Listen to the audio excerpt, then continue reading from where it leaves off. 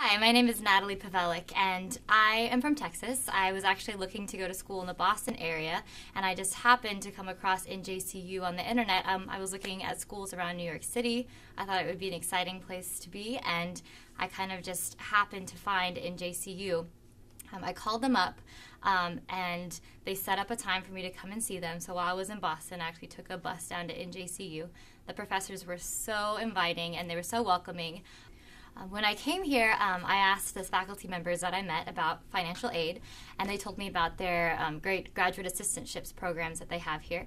And so I applied for one, and I got one, and it pays for all of my school. And I also work in the library, and I, get paid a monthly stipend, and it just worked out so great. I love it here.